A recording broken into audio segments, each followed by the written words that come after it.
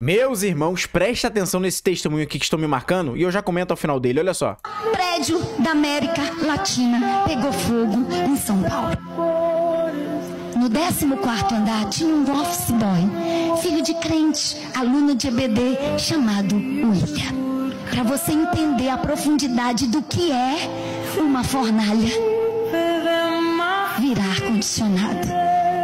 Quando ele viu as pessoas se jogando, se fugindo do fogo, outros morrendo queimado aos gritos.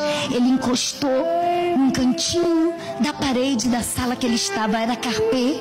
Ele tinha uma calça boca de sino larga, o fogo entrava. Ele começou a sentir o calor do fogo e ele disse: Jesus, eu não posso me jogar, porque eu vou tirar minha vida. E eu quero ir para o céu. Ele só tinha 14 anos. Ele disse: Jesus, eu vou morrer agora, mas eu não quero morrer sentindo essas dores aí que esse povo está gritando. Vem ficar comigo. Era impossível para o William sair dali. Só que ele fez o convite certo. Amor Jesus. Vem ficar comigo, Jesus. Diga para quem está do teu lado, o convite tem que ser certo, intencional, direto. Aleluia, chega de meio termos. Vem ficar comigo, Jesus, porque eu quero morrer agarradinho contigo. Quando ele acabou de falar, uma mão tocou o seu ombro e ele lembra que abriu o olho e viu uma mão gigante. E aí ele fechou o olho e a voz disse: Eu vou descer você daqui. Ele disse: Senhor, é impossível. 14 andares em chama. Ele disse: é impossível. Eu só lembro de Lucas 1,37, porque para Deus nada é impossível. Segura minha mão. E quando William segurou a mão daquele que o convidou, ele refrigerou. Ele Tia Jo foi como um tufão de ar-condicionado em mim. Gelei do pé à cabeça. Eu desci 14 graus, gra, degraus de, de andares no meio do fogo, ele disse. Ele lembra do fogo entrando na sua pantalona. Ele desceu segurando aquela mão. O que Deus quer? Atitudes, passos, movimento. Aleluia!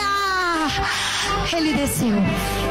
Eu tive o privilégio de visitar o William, que hoje é nosso pastor auxiliar pastor da nossa convenção assembleiana e é auxiliar da nossa sede das Assembleias de Deus em Americana, São Paulo. Pastor José também conheceu ele. E na casa dele tem um quadro com um, um repórter de jornal dizendo: Menino crente passa pelo fogo e não se queima. É um homem de uma fé sobrenatural. Saiu no jornal e tudo. Eita glória, meu Deus do céu.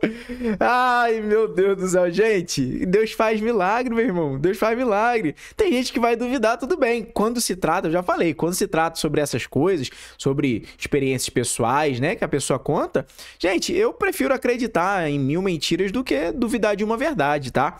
É, obviamente, isso não se aplica em tudo, tá? Vamos ser sensatos aqui. Você não vai sair aplicando isso em tudo. Mas quando alguém fala que passou por uma experiência pessoal e, e você vê ali que, que não, tem nada.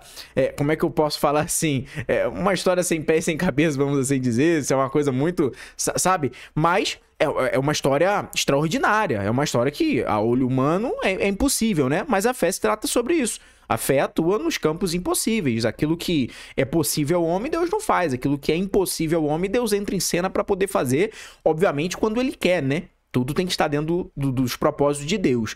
É, mas, enfim, quando se trata sobre esse assunto de experiências pessoais, onde a pessoa conta que pa passou por uma experiência, né? Tem um testemunho pessoal. É, bom, eu não sei vocês, né? Mas eu prefiro acreditar em mil mentiras do que duvidar de uma verdade. Até porque eu creio. Creio no Deus que eu sirvo, creio, creio que Deus pode sim fazer assim como fez, né? E o jornal teve que anunciar lá, né? Glória a Deus, aleluia. Esse é o Deus de milagre, meu irmão. O convite tem que ser certo. Não sei se vocês pegaram aí, mas aqui já foi dado o segredo de tudo. O convite tem que, ter, tem que ser certo. Tem muita gente que na hora da aprovação, da tribulação, na hora da angústia, na hora da adversidade, na hora do deserto, tá fazendo o convite errado. Irmão Chama, como assim? Você recorre ao homem, você recorre a, aos seus recursos financeiros, você recorre ao seu network, né? Que é a sua rede de contatos, você recorre à sua força do próprio braço, enquanto que, na verdade, você deveria recorrer primeiro a Deus. Você deveria recorrer à oração, você deveria recorrer, mas não. Você acha muito melhor você deixar isso como último recurso, né? Mas vou deixar ali como se fosse uma espécie de coringa, como último recurso. Não. Tem que ser o seu primeiro recurso, a oração, buscar a Deus, tem que ser a primeira coisa que você precisa fazer. Amém? Bom, e para você que chegou até o final desse vídeo, eu tenho um grande presente para você. Antes, preciso só te fazer três perguntas. Primeiro, você identifica que você precisa aumentar a sua fé? Segunda pergunta, você identifica que você precisa entender melhor a Bíblia? E a última pergunta, você tem dificuldade de discernir na sua mente quando é Deus falando com você, quando são coisas da sua cabeça ou quando é o inimigo assoprando algo na sua mente? Se a tua resposta foi sim para alguma dessas três perguntas, eu tenho certeza que o discipulado bíblico definitivamente é para você. No meu discipulado bíblico, eu basicamente vou pegar pela tua mão e caminhar junto com você nos 13 principais assuntos que todo cristão, ó, já deveria saber há muito tempo para ter uma vida mais plena em Deus aqui na Terra. Para você ter acesso a esse discipulado bíblico é simples. Basta você entrar agora aí no meu perfil, clicar no link da biografia, é o único link disponível para clique. Clicando nesse link, você vai entrar até o meu site. E lá no meu site você vai clicar no primeiro botão, meu discipulado, e vai conversar diretamente comigo. No mais é isso, tamo juntos, somos um More Bible, mais Bíblia, e a gente se vê lá do outro lado.